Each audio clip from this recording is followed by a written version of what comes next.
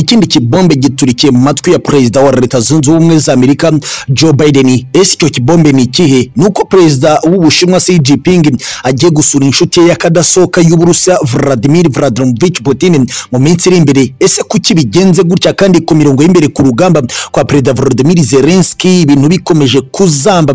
Bigendanye n'ingufu uburusiya bukomeje kwatakisha abo mu burengerazuba bw'isi baje gutanga umusada kuri zelensky. Ikaze mwese kuri izi pages zikomeye. Ku ngingo zitandukanye ku mutekano politiki na diplomasi. Mu rwego mpuzamahanga turi ku munsi wa magana atatu mirongo inani n'irindwi w'intambara ya Ukraine. Turaza kwita bikomeye kuri diplomasi y'ubushinwa n'uburusiya ndetse kandi turebere hamwe urukuta rw'ibihugu rugiye kubakwa mu guhana. Inkozi z'ibibi zo mu burengerazuba bw'isi ikaze mwese mbahaye ikaze kuri iyi paje rutura. Mu masaha make ni bwo amakuru amenyekanye avuye i Beijing mu bushinwa bigaragaza ko perezida w'ubushinwa Xi Jinping azerekeza i Moscow mu cyumweru gitaha aho azaba agiye kugirana ibiganiro na perezida w'uburusiya Vladimir Putin nk'uko byatangajwe n'abategetsi ku mpande zombi. Perezidanse y'uburusiya Kremlin yavuze ko bazaganira ku butwererane bushingiye ku mikoranire n'ingamba byumvikanyweho hagati y'ibihugu byombi rutura.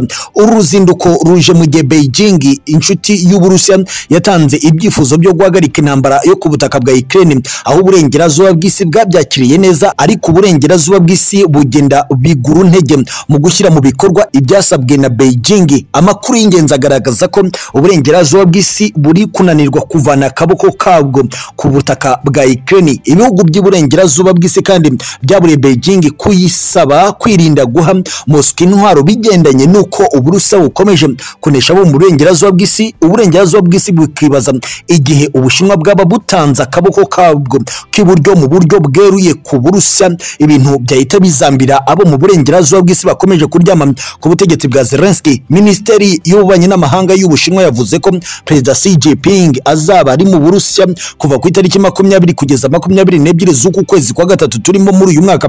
Ku butumire bwa mugenzi we w'uburusiya Vladimir Putin nk'uko iyi nkuru dukesha ibitangazamakuru bya leta y'uburusiya nka RIA Novosti bibivuga biteganyijwe kandi ko hazashyirwa umukono ku masezerano atandukanye y'ingenzi hagati y'ibihugu byombi mu butumwa bwashyizwe ku rubuga rwa Twitter kuri uyu wa gatanu umuvugizi wa minisiteri y'ububanyi n'amahanga y'ubushinwa Hu Qiang yavuze ko ari urugendo rw'ubushuti n'amahoro gusa. Ariko kandi abasesenguzi n'abakurikiranira hafi ibikomeje kubera ku butaka bwa Ukraine bavuze ko kuba ubushinwa n'uburusiya biri kugenderanira kuri uru rwego rwa diplomasi yo mu rwego rwo hejuru hagati y'ibihugu byombi ari ibigaragaza ko Vladimir Putin agifite umwanya munini wo gutanga ibihano ku burengerazuba bw'isi. Ni kenshi leta zunze ubumwe za Amerika yo ubwayo binyujije mu butasi bwa gisirikare yahishuye ko ubushinwa bwagiye butanga inshuro nyinshi.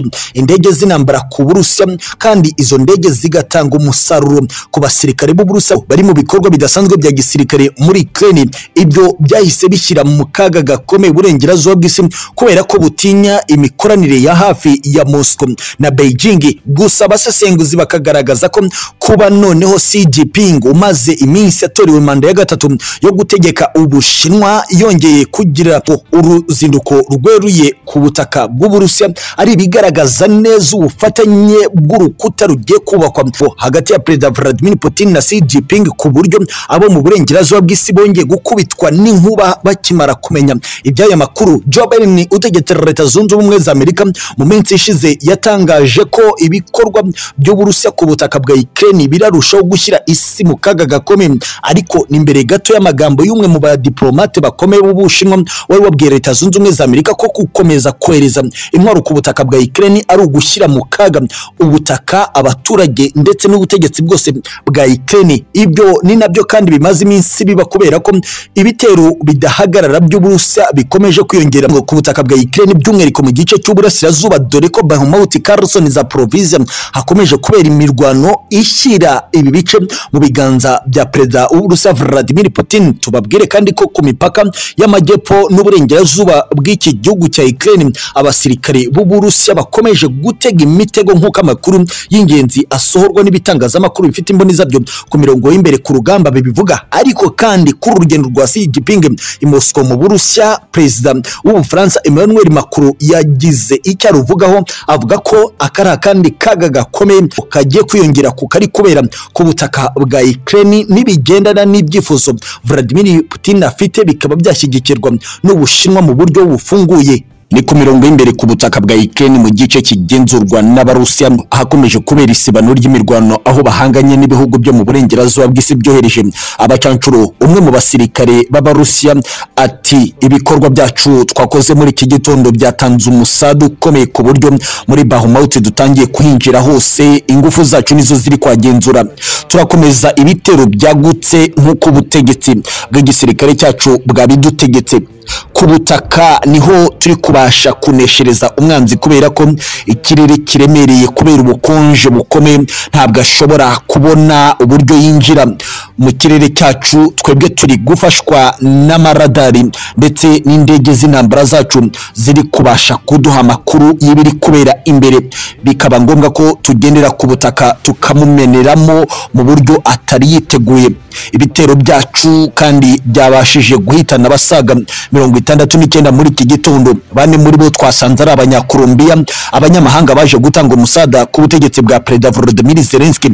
Ariko kandi ku rundi ruhande umwe mu basirikare bakomeye mu gisirikare cya Ukraine yasabye ibihugu by'amahanga kugira icyo bikora ku gihugu cye nubwo aya magambo asanzwe avugwa n'umukuru w'iki gihugu Volodymyr Zelensky ntahabwa agaciro kubera ko umusada ukomeje kubiyanga mu gisirikare cy'iki gihugu gishaka kwirwanaho. Ariko kandi abasesenguzi bakavuga ko perezida wa Ukraine Volodymyr Zelensky hari byinshi arakomeza guhura na byo mu gihe ataraza kwemera ibyasabwe n'igisirikare cy'Uburusiya agomba kureka. Hakaba ituze mu gice cy'uburasirazuba. Ari naho nawe ubwe avuga ko adashobora guhara igice cya Bahmut kuko ari cyo kivuze ku butaka bwose bwa Ukraine. Ariko abasesenguzi bakavuga ko mu gihe perezida wa Ukraine Volodymyr Zelensky arakomeza gusaba ibihugu by'amahanga inkunga y'umusada yo kugira ngo arebe uburyo yarwana kuri ubu burasirazuba butangiye kumucika hafi ya bwose biratera perezida w'Uburusiya Vladimir Putin nawe gukomeza kwinjiza ku butaka bw'igihugu cya Ukraine intwaro n'abasirikare benshi mu rwego rwo kwirinda ko yasubizwa inyuma n'ingufu z'umusada zo mu burengerazuba bw'isi. Gusa amakuru ava mu butasi bw'Abarusiya avuga ko leta zunze ubumwe za Amerika n'Ubwongereza bikomeje gukoresha ibihugu bihana imbibi na Ukraine nk'ibihugu byo gutanga inkunga z'umusada kuri perezida wa Ukraine Volodymyr Zelensky aho kugira ngo byitirirwe leta zunze ubumwe za Amerika n'Ubwongereza ari naho kandi imboni y'ikinyamakuru Belarus Partizan yandikiye article ikomeye cyane igaragaza ko ibikomeje kubera ku mpaka wa Moldova na Ukraine Romania na Ukraine Slovakia na Ukraine biba biteye inkeke ku hazaza h'ubutaka bwa Ukraine kuko abasirikari b'Uburusiya nabo bakomeje gutega imitego igamije gutuma uwo musada utagera rwagati mu murwa mukuru w'igihugu cya Ukraine Kiev kubera ko mu gihe wahagera wazamura umutekano ukomeye ku buryo igice cy'uburasirazuba ku mugezi wa Dnipro gishobora guhura n'akaga mu gihe abarusa baba bakomeje kuhinjira. Ari na yo mpamvu iyi mitego igamije gutuma izi ntwaro zitarenga umutaru gusa ku rundi ruhande ikinyamakuru Russia Gazeta na cyo gifite ab'imbere bagiha amakuru. Mu gisirikare cy'ubusa bagitangarije ko mu masaha umunani ari imbere hari ibintu biraza kubera. Ku mpaka wa Ukraine n'Uburusiya aho biteganyijwe ko haraza kwinjira imodoka z'umusada ndetse no mu kirere cy'uyu mupaka. Hakanyuzwa indege z'umusada zatanzwe n'ibihugu biri inyuma y'Uburusiya bwa perezida w'Uburusiya Vladimir Vladimirovich Putin.